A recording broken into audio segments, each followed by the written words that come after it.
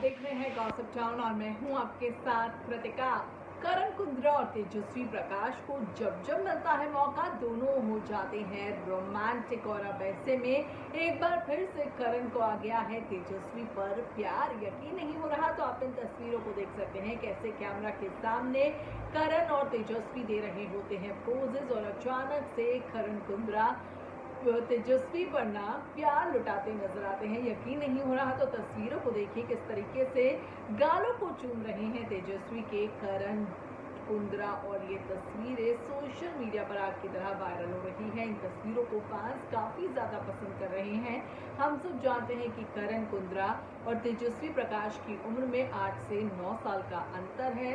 आठ से नौ साल छोटी है तेजस्वी, करण से, लेकिन बावजूद इसके दोनों के बीच में जो बॉन्ड है ना, वो काफ़ी ज़्यादा स्ट्रॉन्ग है। दोनों की मुलाकात बिग बॉस के घर में हुई थी और इन दोनों का प्यार अब तक है यू नो बरकरार और दोनों एक दूसरे के साथ जीने मरने की कस्में खा चुके हैं। भले ही दोनों की अभी तक शादी नहीं हुई, लेकिन दोनों ना हर वक्त साथ में ही नज़र आते हैं। बीते दिनों ये कपल लंदन घूमने गया था, जहाँ पर दोनों ने काफ़ी ज़्यादा मस्ती की थी और एंजॉय भी किया था। बता दें आपको, करण कुंद्रा एक इंटरव्यू में इस बात का खुलासा कर चुके हैं कि वो तेजस्वी से ही शादी करेंगे, लेकिन कब करेंगे फ़िलहाल नहीं पता, क्योंकि फ़िलहाल जो तेजस्वी प्रकाश है, वो अपने करियर पर फोकस कर रही हैं और वो अपने करियर पर देना चाहती हैं। थोड़ा सा और ध्यान, इसीलिए अभी वो शादी के मूड में नहीं है। लेकिन मैं आपको यहाँ पर ये बताना चाहती हूँ कि देखिए, करण और तेजस्वी को जब भी रोमांटिक होने का मौका मिलता है, ये कभी भी हिचकिचाते नहीं हैं।